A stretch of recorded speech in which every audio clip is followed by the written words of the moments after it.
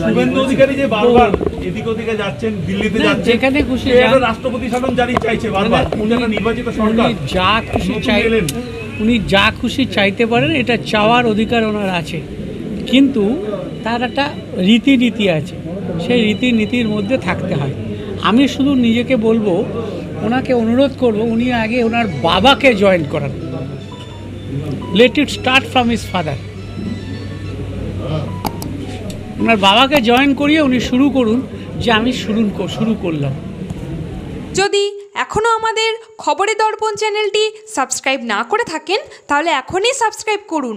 সঙ্গে বেল বাটনটি ক্লিক করুন আর পেয়ে যান সব খবরের দ্রুত ভিডিও আপডেট।